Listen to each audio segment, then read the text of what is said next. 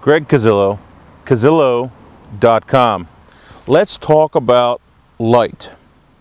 Now, I'm going to start off with my rant because I think that's the best thing to do is start it off, get it over with. Otherwise, I'm just going to keep on ranting throughout this entire video. The problem that I have right now is that there are so many quote unquote professionals and uh, advanced amateur photographers that are clueless with how to control light, how to uh, you know capture it, how you know where the shadow is, where the light is, where the main light versus fill light versus everything. You've got to know this. All right, you've got to be able to see the light in your head if you're composing a portrait of someone and they're standing there and they're posed, doesn't matter how good the portrait is, if they've got a big, you know, light spot on their nose that you didn't see because you're not concentrating on the light, you're more worried about everything else, then you know what? It's still a poor image. It's not going to do it any good. You've got to start off with good fundamentals of light, being able to look at an image, look at a scene, even without even having the camera on or without even taking a picture. You need to be able to stop, look around in a scene and say, okay, wow, the, it's pretty uh, over, overcast right now. The light's very soft. Uh, you know, we have the brighter areas over there and the this spot or that spot or the other spot. You've got to be able to see this. Um, I don't know how to get it to, uh, across to everyone. Um, sorry for the rant, but uh, it's just one of those things that's just been bothering me. I see all these images that don't have any interesting light in them. Um, if you have an image with interesting light, it doesn't matter if the the, per, the the person in the image is you know young and beautiful or old and wrinkly, or if the composition's perfect, or if it uses any of the rules of composition. You know, none of that stuff matters. If it has great light, it has great light, and you know it, it could it could be you know the worst composed image but if it has great light in it, it's still going to be a great photograph. So light trumps everything else about photography. Now I mentioned also about being able to actually see the light in a in in the image and as far as the different brightnesses and everything in it. You know, when you have sun or a brighter area of white, your eyes are going to be naturally drawn to that area. So you need to be able to see that and either recompose, change something about the image, maybe move your lighting around if at all possible. Uh, great example, one of the photos that I have here, uh, all I did was open a door up uh, in a scene and it made all the difference in the world. Unfortunately, I was too quick to delete the, the other photo, but doesn't matter, the, the before photo. But um, anyway, seeing that light, seeing where it is bouncing around is everything in photography, along with being able to see the entire scene and the, the whole image composed all together before you take it.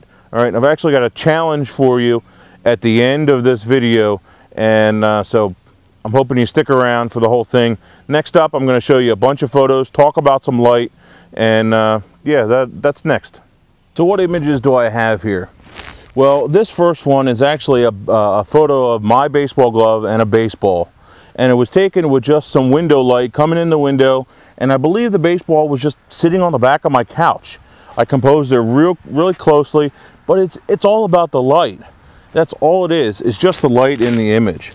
Uh, this next one is actually a great example of no light on the subject. I actually silhouetted the, uh, this guy's name's Gary Ciano uh, with his PowerPoint in the background. And you also have a little reflection off the screen of the laptop great image and there is no light falling on him it's still a great portrait it still tells a story and the fact that he's a financial planner giving a presentation it still all works together. Uh, this next one is actually a portrait I created of uh, Caitlin in the studio. Great portrait but I set the lights up myself. I knew where I wanted to position them with a main light with a fill light with a hair light with a background light. And so I can see all those things as I'm working, as I'm composing that image, not after, not take 20, 30, 40 photos and then realize how bad it looked. You know, I'm creating this stuff as I go along. Uh, this next one, it was more of a journalistic image. Uh, it was at a baseball game, and the coach just uh, was looking through the fence. But you see this, you know, all this fence stuff coming through, and you got this really interesting light coming through. You can tell that it's baseball. You can tell it might be a coach or something along those lines. Again, interesting image. It's all about that light. Uh, this one, you actually have shadow down here in the bottom and light coming in from the top.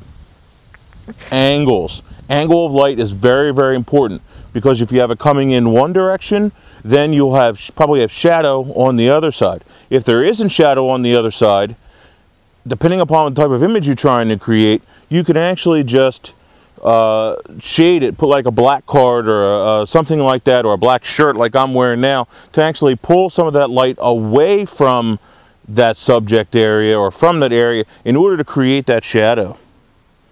Uh, next one is some uh, uh, shoes from a wedding that I shot a while back. Uh, great photo, love it, and it's a high key photo. High key means that it's very bright in the background, okay? And that's what this is, very bright or almost completely white in the background. Now there was a lot of sun coming in the window. There was, you know, a lot of light coming in through the window. It was relatively soft, but there was just enough light reflecting back into the shoes that that's all I needed to worry about. So it's about a matter of seeing that light. You know, I tried to create this photo a couple of times in other locations, and it just hasn't been the same. You know, at other weddings, it hasn't been the same. That's just the way it is. Uh, this next one, same wedding, great image. Window light, that's it. All right, it's just great window light coming in. Uh, we have a little bit of a Rembrandt there. We have nice shadow off of her nose. Everything just looks great. All right, nice and soft, nice portrait. Same one, same sequence, same, same bride and everything. Uh, a little bit different pose. She's looking at the camera. And the big thing that you need to see here is the catch lights in the eyes. All right. When you have a little spot of light in the eyes, right in the center like this, it is so awesome. It looks so, so good. And it just makes her eyes just jump out at you in an image like this. You add that, take that, and then you add in the uh, really, really sharp, uh, eyes and um, oh man, you just get sucked in. And that's the kind of photo that you want to create, something that's really, really interesting. Next photo is another portrait. Uh, you know I'm big on portraits, that's my thing. Um, it's just available light, that's all this was. There's no flash in this, no nothing. But uh, the light was very soft, it's actually just underneath of a building. So if you have, say, a porch area or something like that, some kind of an overhang, uh, the light is typically softer when you you're up under there. In fact, I just did a photo on Sunday. I was at the firehouse, and there was a big group of like 20 people, something like that, at the, at the firehouse. And uh, the doors were open. All the trucks were outside because we were actually having a special event. And when you step in there, that light is so soft on their faces. It looks so good and everyone's perfectly lit. I didn't need a flash, anything like that. Um, I don't think I can show you that photo, but it's really awesome. So up underneath some kind of an overhang, you can usually get some nice soft light. Uh, another one just has a great light to it. Uh, the light's coming down from above, so it's more of a butterfly light, okay? Um, it really accentuates her, her cheekbones and her smile. Uh, you still have just a tiny little bit of catch light in the eyes. I probably could have enhanced that if I really wanted to, but it's far enough away that I don't think you really need to. Uh, great black and white image, frame in a frame, adds a composition, awesome picture. Next one, this has flash on it.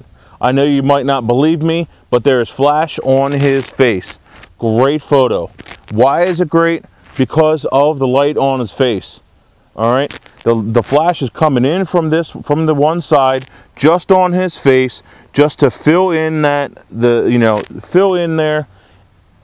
Uh, and, and it just makes it an awesome photograph because you're lighting that part of the face from here to here, which is called the mask of the face. When you light that area, it makes it more interesting to us because we want to see the face lit we want to see the eyes, the nose, and that's just what we're drawn to because it's a part of human nature. So why not take advantage of that and light the face? That's what we're doing here with a portrait.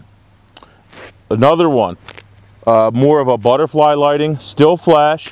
Flash is balanced with the rest of the scene and it works. all right? Nice soft light. Could have just been sun. It could have just been a reflector or a diffused light coming in, but it was actually done with flash. Nice portrait.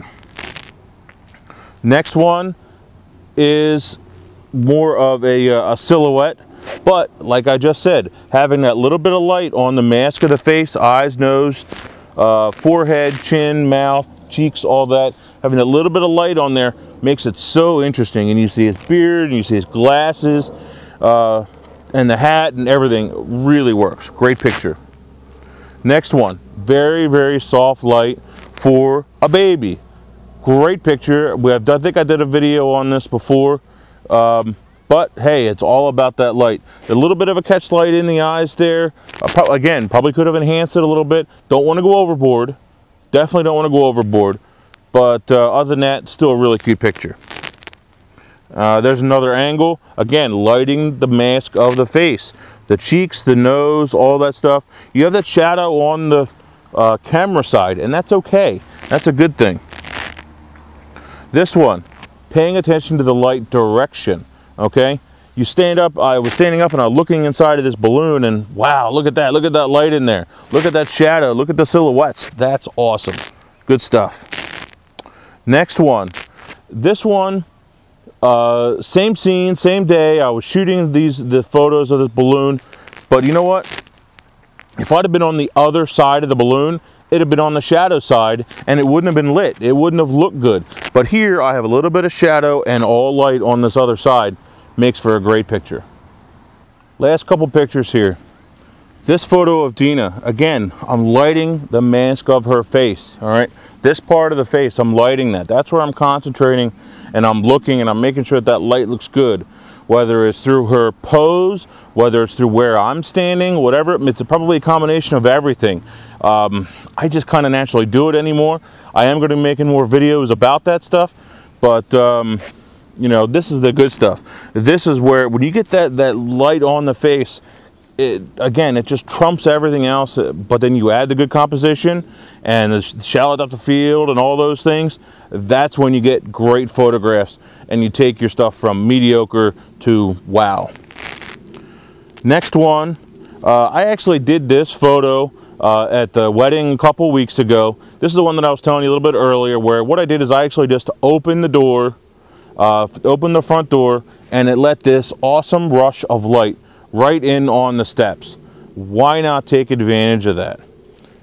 And it's composed very tightly, but I love it. I love how I love her eyes. I love the fact that it goes all the way down and, and shows her shoes and her feet and you know the dress there and everything about it. It's a great picture. Really nice light coming in and she's gonna love this picture. She hasn't even seen it yet, but I know she's gonna love it.